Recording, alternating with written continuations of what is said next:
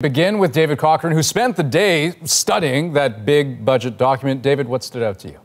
Yeah, Andrew, it's the first budget in two years, the longest budget in history, and it spends big on getting through COVID and trying to launch the recovery.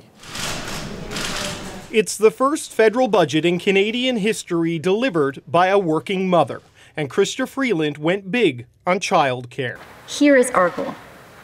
Five years from now, parents across the country should have access to high quality early learning and childcare for an average of $10 a day.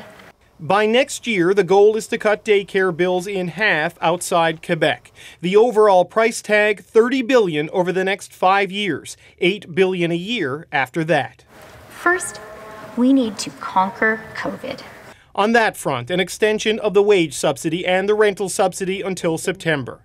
The Canada Recovery Benefit is extended by another 12 weeks. Plus, there's a new Canada Recovery Hiring Program to subsidize payroll for new hires and increased hours until November. We must punch our way out of the COVID recession. That means ensuring lost jobs are recovered as swiftly as possible. While dealing with the COVID crisis, there's billions in spending and tax credits to deal with the climate crisis and create green jobs. Job growth means green growth. The cost of this spending is enormous. A $354 billion deficit last year, 154.7 billion this year, 59.7 billion the year after.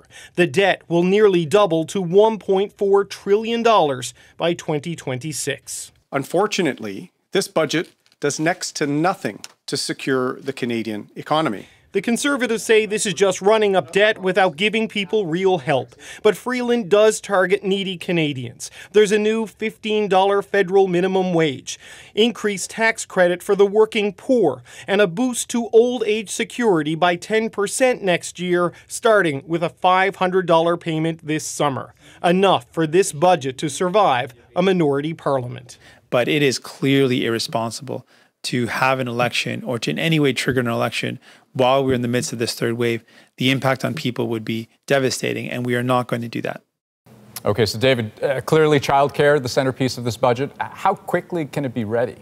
Yeah, they want it pretty fast because the goal is to cut bills in half by next year. But you know, all of this depends on the provinces coming on board. And right now, there's still a lot of questions to how this is actually going to work. The key thing, Andrew, is that the federal money is on the table. Now, the key players need to sit at the table and see if this can all work. Okay, David Cochrane, thanks for all this. You're welcome.